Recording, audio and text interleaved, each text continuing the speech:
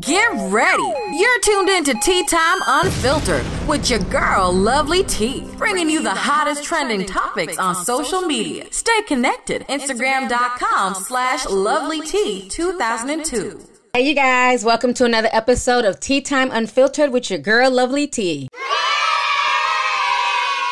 Hey, you guys, I hope you guys are doing good. It is officially June 30th. It is the end of the month, and today is an insane day.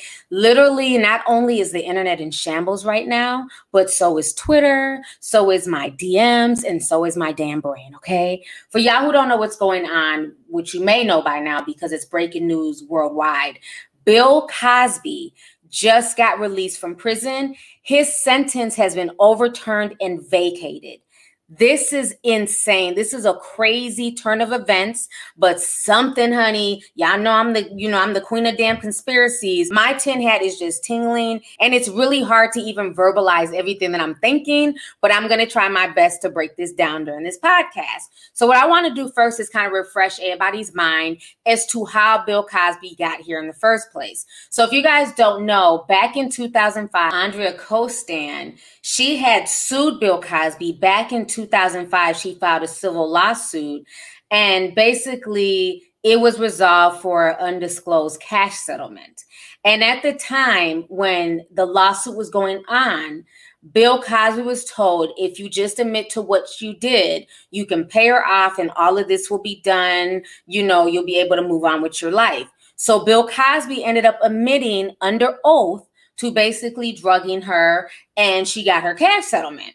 So now, fast forward a few years later, all of a sudden these rape allegations and these drugging allegations are brought back to the forefront by comedians. 60 women were all coming out saying that bill cosby drugged and raped them. It was insane. Here go all the women here on the new york times magazine and so Bill Cosby ended up getting sentenced to 10 years back in 2018. And thus far, he has served three years. I want to go ahead and play you guys this video really quick. Led away in handcuffs, a searing image of a man once adored and celebrated, now on his way to prison.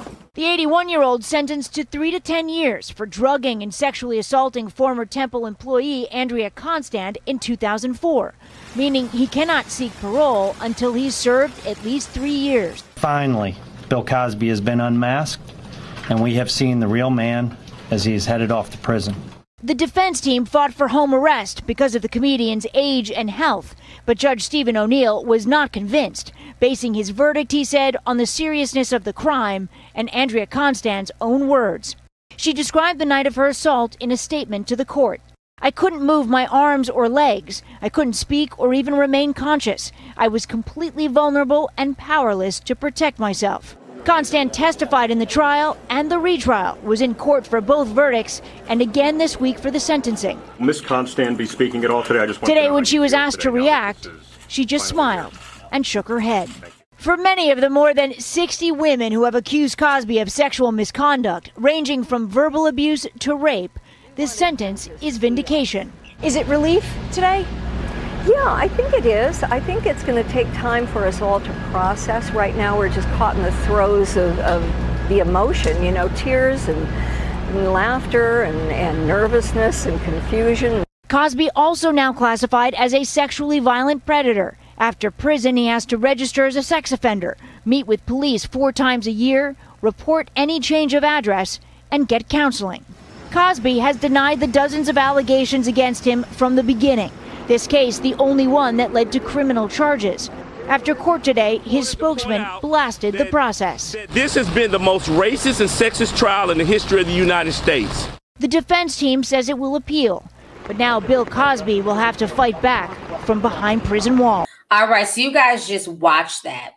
So basically, they took what was supposed to be a civil case and then used that for their aha moment and proof for the criminal case. So a lot of people were saying back then, like, well, this doesn't make any sense because he had already signed an affidavit saying that he would admit to it, but that he could not be prosecuted but that he could not be prosecuted criminally, and yet he was. So he's been sitting in prison for the past three years. Now, what I find very interesting is that today they decided to vacate this. They decided to basically release him from prison. And the thing that I find very interesting about the situation is that if you remember, just last month he was up for parole and he was denied. It hasn't even been a whole month. He went up for parole on May 28th. He was petitioning the court and he was denied. And the main reason why they're saying that he was denied is because he refused therapy. And they're saying, being that he didn't want to go and get the therapy needed, that he would still be a danger to society. So I find it very, very interesting that in less than a month later, okay, this was just May, now it's June 30th, the whole thing has been thrown out. But now here's where the rabbit hole goes deeper. Now I see a lot of black folks celebrating and you know they're looking at this as a win and you know and I get that. You know what I'm saying? But I feel like there's more to this story. And a lot of people are upset. It's definitely causing the whole black white divide on social media. And I'm going to just show you guys some of the tweets and stuff as I'm talking of people really, really mad because they feel like, okay, he is a rapist. He did confess on tape. And now they're vacating everything. But the thing is, they had no right to charge him based off of the sweetheart deal. Let's keep it real. This was a sweetheart deal that he made with prosecutors. Now, what I find very interesting, I don't know if you guys are aware of this, but the guy who gave Bill Cosby that sweetheart deal is the same guy that was involved in the Trump impeachment. Okay. He was Trump's attorney during the whole impeachment debacle. And his name is Bruce Castor. My name is Bruce Castor. I am the lead prosecutor, lead uh, counsel for the 45th President of the United States. But I do understand the difference, Mr. Raskin. Manslaughter and murder. You could grow up to be a United States Senator. Congress shall make no law abridging all of these things that they be convicted first. It happens. I worked in this building 40 years ago I got lost then, and I still do. Remember, people made a bunch of videos and memes and everything else. So he's the one who made a promise back in 2005 when he was a DA to not prosecute Bill Cosby. This was supposed to be a civil matter. And I have the court uh, documents here as well. But I'm going to read you guys an excerpt from that court document. And here it says, in accordance with the evidence, his attorney, Bill Cosby, relied upon the DA Castor's public announcement that he would not be prosecuted. His reliance was reasonable and it resulted in, in deprivation of a fundamental constitutional right when he was compelled to furnish self incriminating testimony. So that is what they used in today's hearing to get it overthrown. So now this is from the information that was released today and they have that information from the court documents from 2005. The Montgomery County District Attorney Bruce Castor learned that Andrea Constand had reported William Cosby had sexually assaulted her in, tw- in 2004. So basically, what they're saying is that Castor, the DA at the time, he said that because there was no corroborating forensic evidence, because the testimony from other potential claimants against Bill Cosby were likely admissible under the governing law of evidence, that the collective weight of these considerations led D.A. Castor to conclude that unless Bill Cosby confessed, there was insufficient credible admissible evidence upon which any charges against Bill Cosby related to the Constand incident could be proven beyond a reasonable doubt. So, seeking some measure of justice, quote unquote, for Constand, the DA decided that the Commonwealth would decline to prosecute Cosby for the incident involving Constand, thereby allowing Cosby to be forced to testify in a subsequent civil action under penalty of perjury without benefits of his Fifth Amendment privilege against self incrimination. Okay. So that is why Bill Cosby got up there because he was promised something. And then they later on, years down the line, used it against him. Now, what I find very disturbing about this, race aside, let's just talk about the fact, let's talk about money first and foremost. Okay. I find it very interesting that Bill Cosby was able to confess to a crime and get a sweetheart deal where he didn't face any prosecution. Everything was supposed to be sealed. And this man, the DA, later on ends up being Trump's attorney.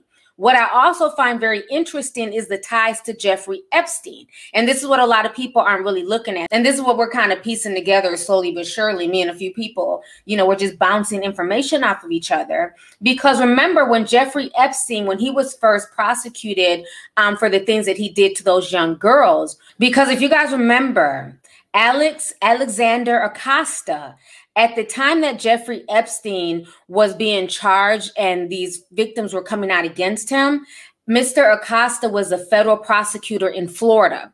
Okay. And he was the one who gave Jeffrey Epstein a sweetheart deal. This man barely got any time. He was able to come and go out the jail. It was insane. Nobody had ever seen a deal like this before. And then in turn, he ends up being Trump's labor secretary. And he ended up having to resign in disgrace once everything came out about Jeffrey Epstein. So, something about this whole Bill Cosby situation, while I'm glad that he's out, because technically he was never supposed to be in there, per the sweetheart deal. So let's keep that real.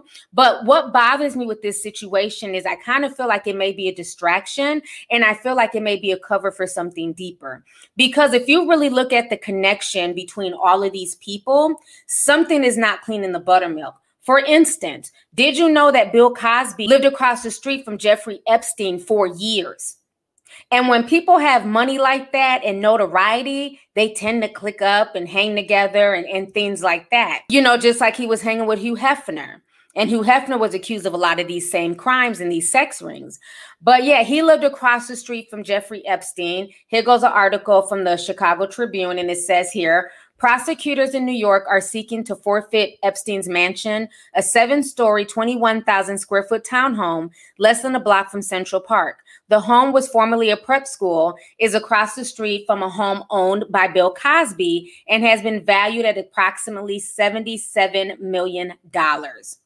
So they lived right across the street from each other. Now, what I also find interesting, if you guys do not know, okay, here goes another connection that's making my damn tin hat tingle. Ghislaine Maxwell, the female pervert of all female perverts, she came out back in April just a few months ago. Her team is really upset about her treatment.